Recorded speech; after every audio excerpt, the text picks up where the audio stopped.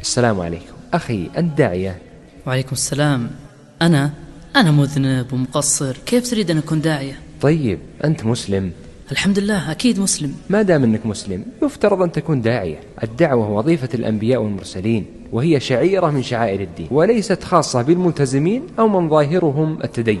الله عز وجل أخبر عن خسارة الناس كلهم إلا من اتصف بأربع صفات الإيمان العمل الصالح والدعوة والصبر عليها. قال تعالى والعصر إن الإنسان لفي خسر إلا الذين آمنوا وعملوا الصالحات وتواصوا بالحق وتواصوا بالصبر. فذكر الله أربع خصال خصلتين تكمل بهما نفسك وهي الإيمان والعمل الصالح وخصلتين تكمل بهما غيرك وهي الدعوة والصبر عليها. فإذا عجزت عن تكميل نفسك فلا تعجز عن تكميل غيرك. طيب.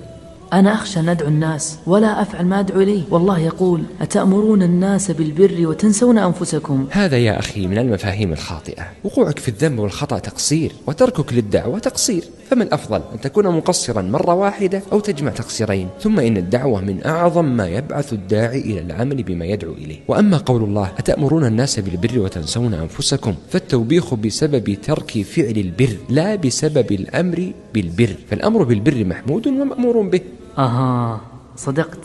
لكن كيف أكون داعية؟ وأنا لست عالما ولا طالب علم. لا يشترط لكونك داعية أن تكون عالما أو طالب علم بل الشرط أن تكون عالما بما تدعو إليه. قال صلى الله عليه وسلم بلغوا عني ولو آية.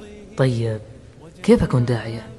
الدعوة بابها واسع جدا. أنت داعية حينما توقظ أبنائك للصلاة وداعية حينما تربي بناتك على الحشمة والعفاف وداعية حينما توجه طلابك في الفصل وداعية حينما تهدي كتابا لمن يقرأه وداعية حينما ترتب مع عالم أو واعظ. وفي كتاب اسمه كلنا دعاه تجدون رابطة في وصف المقطع يحتوي على أكثر من ألف فكرة للدعوة. وتذكر أن من دعا إلى هدى كان له مثل أجر من تبعه. جزاك الله خيرا عن هذا التوضيح. ومن اليوم فصاعدا كلنا دعاه ومن أحسن قولا